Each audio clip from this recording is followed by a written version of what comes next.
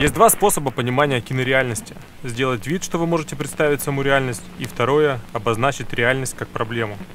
Эдгар Моран с первых дней своей съемочной карьеры я пытался, сам того не осознавая, создавать видео, близкие к документальному жанру. Мне нравится разбираться в историях людей, узнавать их, возможно, даже проживать какие-то моменты из их жизни.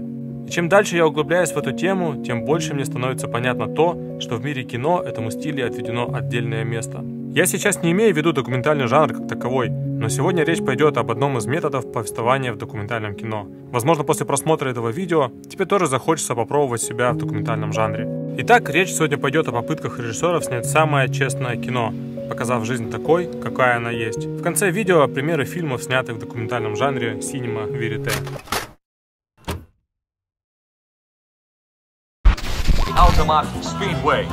Название этого метода Cinema Verite происходит от французского, переводится буквально как «правдивое кино». Это особый метод съемок документальных и художественных фильмов, а также ряд режиссерских приемов, интервью и наблюдения за ситуацией, как постановочными, так и реальными. Источником вдохновения для Cinema Verite стала, как ни странно, кинопродукция СССР. В свое время в нашей стране существовала серия документальных фильмов под названием «Киноправда». Фильмы выпускались еще в 20-х годах объединением «Кинооки» под руководством Дзиги Вертова. Кинооки – творческое объединение советских документалистов 1920-х, сформировавшееся вокруг фигуры режиссера Дзига Вертова. Опубликовали свою серию манифестов, противопоставляли себя традиционным кинематографистам.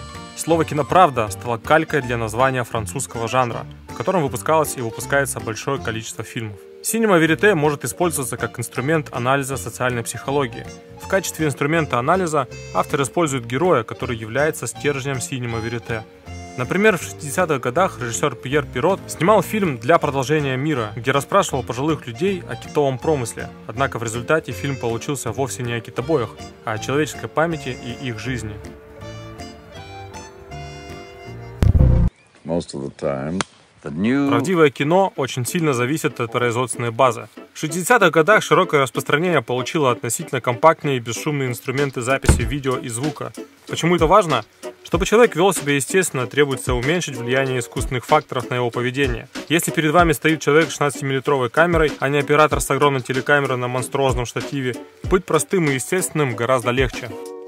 Cinema Verite часто критикуется экспертами, ведь по их мнению это больше не кино, а репортаж, документальная зарисовка, где информативности отводится первое место. Вместе с тем жанр продемонстрировал возможности новых художественных приемов, которые мы до сих пор можем наблюдать в кино, особенно документальном. Основная задача режиссера, работающего в рамках направления, показать целостную картину. Фактор правды здесь важен, но все же условен. Для создания эффекта искренности непритворности режиссер использует художественные приемы, которые приближают кино к реальной жизни. Импровизацию, отсутствие текста, реплик или четкого сценария. В качестве актеров могут быть набраны люди с улицы, а декорациями служить совершенно обычные квартиры. Непрофессионализм актеров добавляет картине естественность.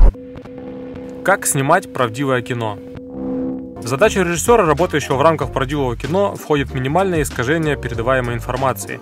Именно поэтому жанр так прижился в документалистике, где очень важно подавать информацию с минимальными искажениями. Режиссер перекладывает естественность за правду на плечи зрителя, говоря что-то вроде «Так, я снял тебе фильм, а ты уже сам решай, верить всему или нет». Можно проследить влияние синего верите и на других областях культуры, скажем, в способе создания музыкальных клипов. Иногда песня становится основой для целой истории. Например, у короля поп-музыки Майкла Джексона есть песня «They don't care about us» «Им плевать на нас». Композиция представляет собой мощную социальную критику современного мира, где идет вечная борьба бедных и богатых. Визуальная составляющая тут призвана подчеркнуть содержание. Все в постановке клипа работает на то, чтобы рассказать проблемы, о которых говорится в песне.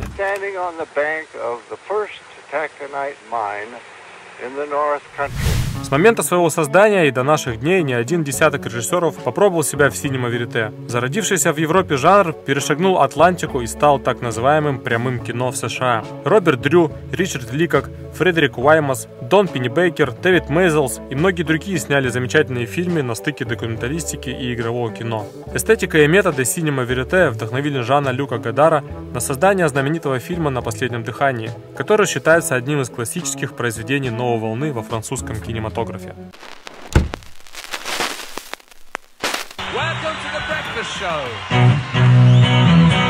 Клим Шелтер, 1970 год. Режиссеры Альберт и Дэвид Майлз. В фильме Game Shelter речь идет о последних неделях американского турне 1969 года британской музыкальной группы The Rolling Stones, кульминацией которого стал катастрофический концерт Altamont Free. Во время концерта произошла вспышка насилия, унесшая жизнь четырех человек. The Rolling Stones Free concert is going to be on tomorrow at the Altamont Speedway. The person because you're being treated as a person. Запад 47-й улицы, 2001 год. Режиссеры Билл Лихтенштейн и Джун Пиплс. Запад 47-й улицы показывает зрителю портреты четырех людей с серьезными психическими заболеваниями. Личные истории этих людей мы наблюдаем в трехлетней ретроспективе, которая начинается весной 2001 года. Все герои фильма – пациенты так называемого фонтанного дома, реабилитационной программы для психически больных людей. Really amazing. It looks like some kind of uh, biblical, epical, unbelievable.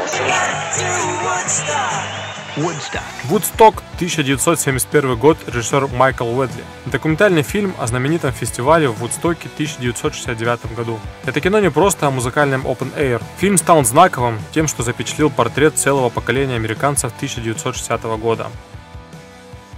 Синема Верите – это стремление снять кино о жизни, поставить высказывания героев на первое место – Режиссер в этом случае скорее посредник, чем творец. Он не изменяет реальность под свое мировоззрение, а старается рассказать историю чужими словами, пытаясь создать из этого многоголосия складный и понятный рассказ.